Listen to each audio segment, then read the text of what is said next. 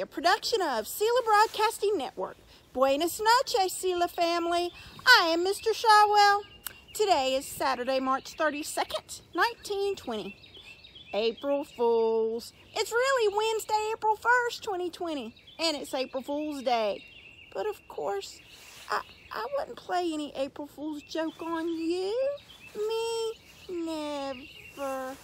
Never. Stand for the Pledge of Allegiance. I pledge of allegiance to the flag of the United States of America and to the republic for which it stands, one nation, under God, indivisible, for liberty and justice for all. Now for the weather. It's freezing today. My teeth won't stop chattering because it's so cold. It's minus 130 degrees and hail is falling the size of golf balls. Ah, ah, ah, ah, April Fool's Fool Day. so, don't forget that CELA is offering a grab-and-go lunch, breakfast, and snack from 10.30 to 12.30, Monday through Friday. You will pick up your lunch and a snack as well as breakfast for the next day. Your children must be with you in the car with you. And all meals are free for anyone 18 years and younger. I wonder who's going to join us for today's CELA moment. This is Miss Londona here. Miss Carrasco here. Miss Johnny. Officer Hanson. We are here at the CELA building, making sure that it's taken care of, making sure that when your parents come between 10.30 and 12.30, we are here to help them with what they need. Mr. Hanson is making sure that the building is being taken care of. Please remember to wash your hands and practice social distancing just as we are. We love and we miss you.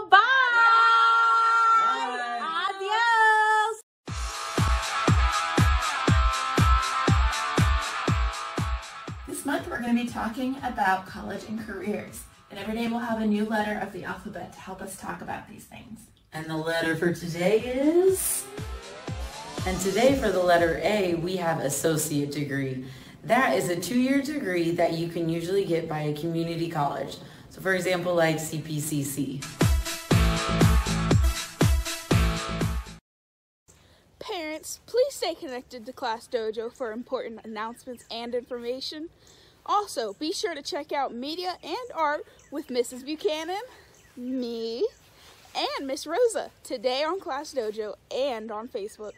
Keep sending us your videos or pictures for CELA Junior Moments. Did you pull an April Fool's prank on someone? We would love to see it. Send your videos and pictures to Mr. Perez on the address shown on the screen. Videos should be one minute or less. Now for a CELA Junior moment.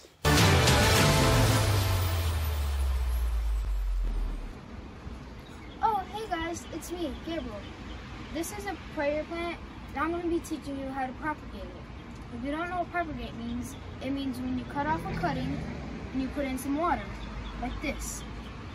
So first, you're gonna see, you're gonna look around, and if it's thick, all the way down and then gets skinny, that's the part you want to cut, because that means it's gonna grow roots. So you want to slowly cut it, not from the very top, but not to the very bottom.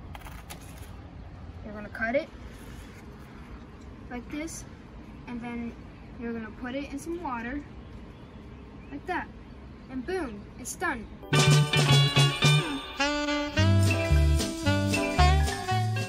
Good morning, CELA. It is April 1st, and I'm not fooling you. Starting today, we're going to be celebrating all our upcoming student birthdays on the Wolf News. So for today, April 1st, we have four birthdays to celebrate. We have Rachel in Miss Batalis' first grade class. We have Syed in Miss, da- in Miss White's sixth grade class. We have Isma in Miss Harvey's kindergarten class. And last but not least, we have Rixie in Miss P's fifth grade class. Have a happy birthday! Did you figure out the riddles yesterday? Oh, what building has the most stories?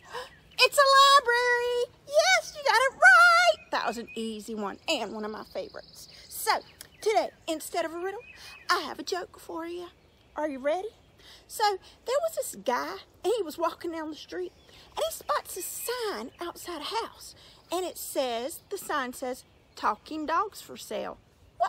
Talking dogs? He, really? He's, he's got to go in and investigate. What is going on? So he walks in. So he asks the dog, what have you done with your life? He asks the dog. Well, I've led a full life, says the dog.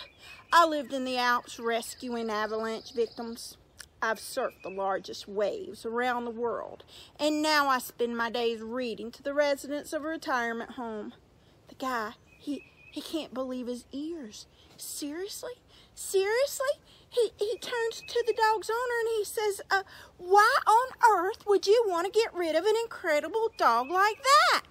The owner says, cause he's a liar. He never did any of that.